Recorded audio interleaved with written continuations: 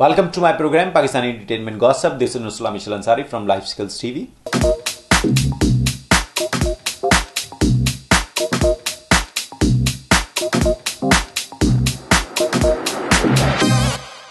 Uh, मैं अपने आज के इस प्रोग्राम में uh, जिस फ़िल्म को लेके आया हूँ उसका नाम है पर्ची पर्ची जो कि 2018 में रिलीज़ होने वाली एक पाकिस्तानी फ़िल्म है जिसकी कास्ट में हरीम फारूक अली रहमान उस्मान मुख्तार शफकत चीमा और दूसरे बहुत सारे अदाकार शामिल हैं जिसको प्रोड्यूस किया है आरफ लखानी इमरान काजमी ने और जिसके डायरेक्टर हैं अजफर जाफरी।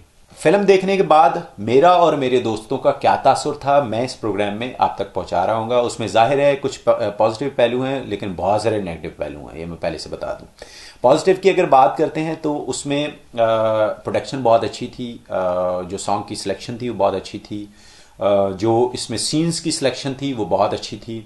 आ, मतलब आपने लाला लैंड फ़िल्म देखी होगी। उसमें जो जिस तरह के रोमांटिक सीन जो दिखाए जाते हैं उस तरह के जो सीन्स थे आउटस्टैंडिंग थे। म्यूज़िक बहुत अट्रैक्टिव था मतलब मुझे जिस चीज़ ने इंस्पायर किया जिस जिसने आ, आ, मुझे मजबूर किया कि मैं जाके इस फ़िल्म को देखूँ वो आ, इसका म्यूज़िक था ज़ाहिर है इसके सॉन्ग्स थे। बाकी अगर हम नेगेटिव की बात करते हैं स्टोरी से स्टार्ट करते हैं तो I am sorry to say story was nothing मेरा ख्याल है कि स्टोरी टेलर ने किसी स्टेज ड्रामे से इंस्पायर होकर जो है वो स्टोरी बयान करने की कोशिश की, क्योंकि स्टेज ड्रामा में होता क्या है, या तो जोक्स होती हैं, या डांस होता है, जिसकी बिना पे जो है वो हिट होता है। आज तक हमारी फ़िल्मों में दो चीज़ें उनका बहुत ही लैक रहा है। एक चीज़ का, जो कि इंटरटेनमेंट बहुत कम रही है हमारी फ़िल्मों में। दूसरा, हमारे यहाँ डांस नहीं रहा। फ़िल्मों में बिल्कुल डांस ना होने के बराबर है। करेक्टर्स की बात करें तो रोल जो है वो अपनी जगह से हिले हुए थे। मतलब मैंने जैसे पहले बताया कि शायद जो स्टोरी इसमें बयान करने वाला है, वो ड्रामे की सूरत में इसको जो स्टेज ड्रामा होता है, हमारा कॉमेडी ड्रामा होता है, उसकी सूरत में पेश करने की कोशिश कर रहा था, जो जिस वजह से इसके साथ जस्टिफाई नहीं कर कर पाया, क्योंकि जो सीरियस करेक्टर्स थे, जैसे शफका चीमा का जो है, वो एक डॉन का रोल था, और वो डॉन का रोल करते करते वो एक्शन ऐसा जो है, वो कर जाता है, या एक्ट ऐसा कर जाता है जिसमें जो एक कॉमेडियन का जो है वो उसका एकदम से वो कन्वर्ट हो जाता रोल जो कि नहीं होना चाहिए था, जो नहीं उसको शूट करता, वो अजीब सा दिया। तीन सीन्स को एक ही लोकेशन पे शूट करना, ये मुझे कोई अकलमंदी नज़र नहीं आई। उसी में जो है वो बैग भी छीन के लेके जा रहे हैं इनसे उसी में जो है वो इनको अगवा भी करके लेके जा रहे हैं, और इसी में जो है वो एक रोमांटिक सीन भी चल रहा है, और उसी में लड़ाइयाँ भी चल रही हैं। तो एक ही जगह पे वो सारा कुछ पता नहीं, ये जल्दी थी इनको फ़िल्म रिलीज़ करने की जो इन्होंने ऐसा किया। डांस की बात की जाए तो डांस में जो है उस्मान मुख्तार उन्होंने बहुत सारी का, काफ़ी अच्छी चीज़ें की। लेकिन मैं फिर से जो डांस कोरियोग्राफर हैं उनको ये कहना चाहूँगा कितने बीट्स थी आपने कितनी ज्यादती की म्यूज़िक के साथ? कितना कुछ आपने छोड़ दिया? अब वो क्यों छोड़ा वो आपको पता होएगा।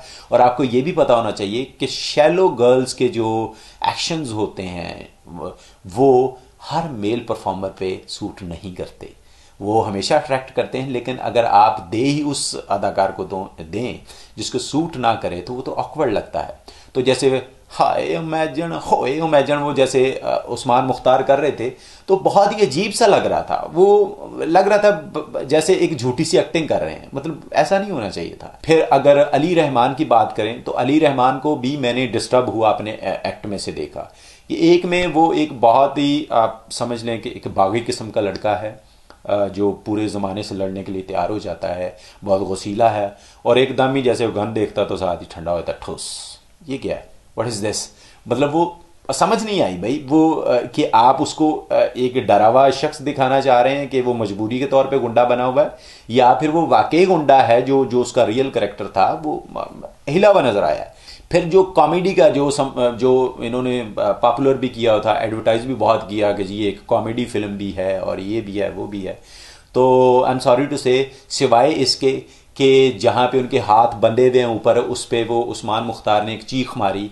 उसके अलावा मुझे कोई हँसी का पहलू उसमें नज़र नहीं आया। वो सारे अजीब सा नज़र आया, सारा कुछ ही इनका सिस्टम ही बहुत अजीब सा नज़र आया। कोई रियलिटी उसमें जो है, वो रियलिटी वाला सीन जो है, वो नज़र नहीं आया। आप यकीन माने कि ये फ़िल्म देखते हुए पता नहीं मैंने अपना सेलफोन कितनी बार जो है, वो चेक करके लोगों के टेक्स्ट के रिप्लाई किए, या मेरे दोस्तों ने देवर जस्ट पासिंग टाइम कि अच्छा चलो यार, किसी तरह जो है ना, वो टाइम गुजर जाए। हम इकट्ठे आ तो गए हैं, एक दूसरे को छोड़ के भी नहीं जाना चाहते।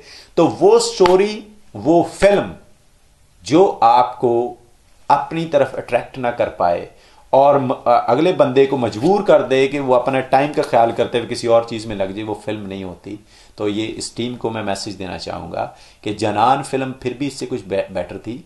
लेकिन ये फ़िल्म का जितना बड़ा ब्रॉड टॉपिक था उसको आप कवर नहीं कर पाए।